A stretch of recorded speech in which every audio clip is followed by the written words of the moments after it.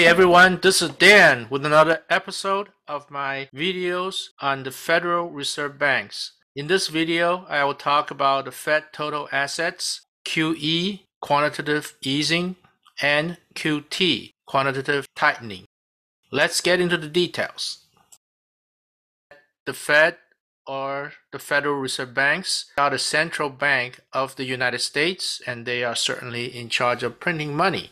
But in addition to printing money, the Fed has some other very important responsibilities.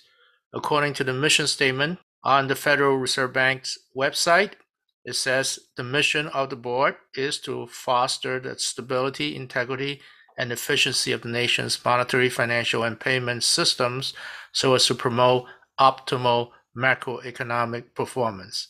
But that doesn't say much. The more telling information is really in the Fed's strategic goals. There are six stated strategic goals by the Fed. Number one, conduct monetary policy that promotes the achievement of the Federal Reserve's statutory objectives of maximum employment and stable prices. Number two, promote a safe, sound, competitive, and accessible banking system and stable financial markets. And then there are four more additional strategic goals. I highlighted a few key words. They are maximum employment, stable prices, the banking system, and stable financial markets. Certainly, if you invest in the stock market, you care about a stable financial markets as much as the Fed. But in addition, you need to know that the Fed has other strategic goals, including maximum employment and stable prices. So, what are Fed's assets? The Fed assets include Treasury securities that the Fed buys from the primary dealers. So, who are the primary dealers? Here's a list of them. There are only about a couple of dozens of them, according to the Federal Reserve Bank's website. They are mostly the major banks.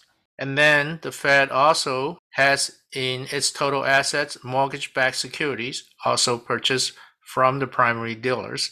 And then there are other assets, including repurchase agreements or repo, and discount window loans to banks.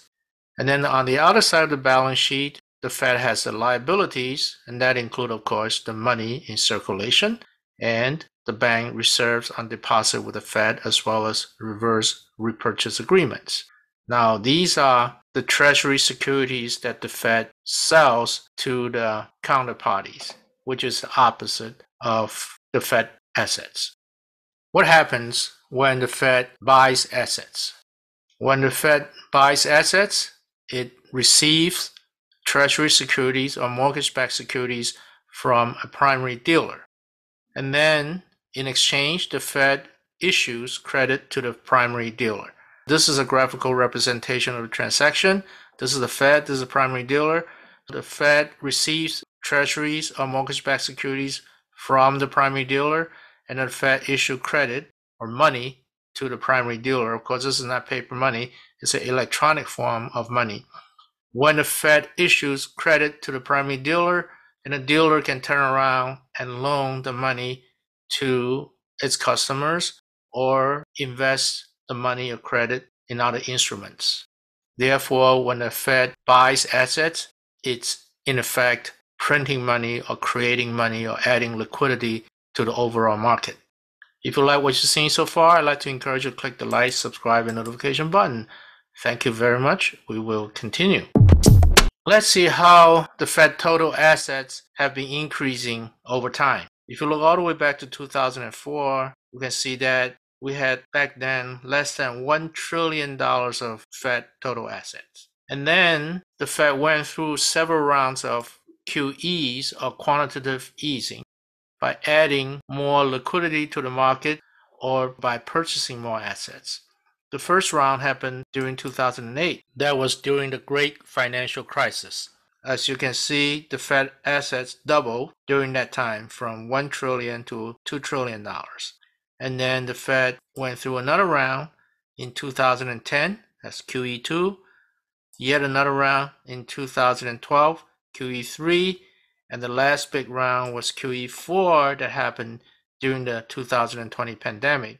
During QE4, the Fed total assets went from about four, four and a half trillion dollars to nine trillion dollars, doubling again.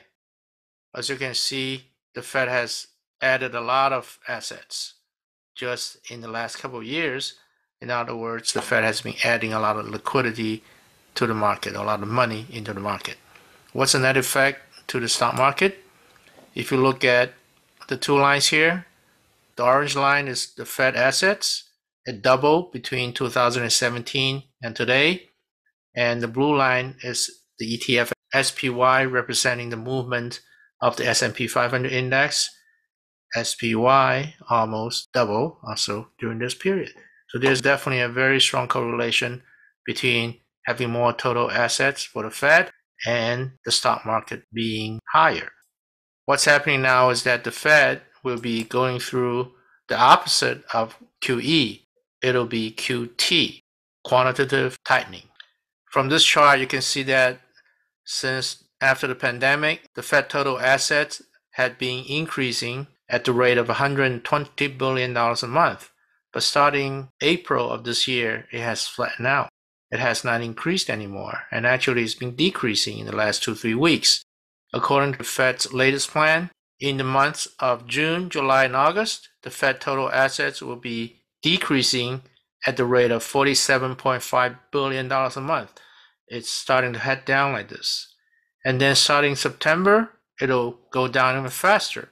Starting September of this year, the Fed total assets will be decreasing at the rate of $95 billion a month. With QT, I expect the stock market to be dropping in the next few months. In addition to subscribing to my YouTube account, I'd also like to encourage you to subscribe to my Twitter account, which is Dan Market L. I share almost on a daily basis some of my trades or any important news development with my subscribers on Twitter. For example, on May 24th, I tweeted that I sold my SQQQ share at 2.6% gain because looks like the market is rebounding.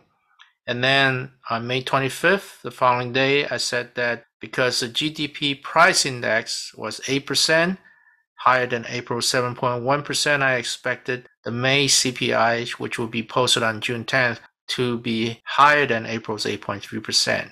That means the Fed will be motivated to step up the rate hikes to tame inflation, which will make the market more bearish. And then on May 27th, I said I sold two thirds of my UCO ETF shares, which I bought on May 19th, and I realized a 9.5% profit. If you like what you've seen so far, I'd like to remind you again to click the like, subscribe, and notification button. And as usual, I very much appreciate your comments, questions, and suggestions. I'd like to remind you that I'm not a financial advisor.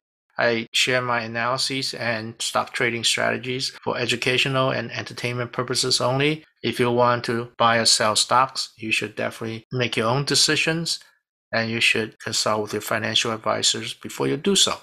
This wraps up my video for now. I will chat with you again in the next few days. In the meanwhile, I'd like to wish you the very best of luck with your financial investments.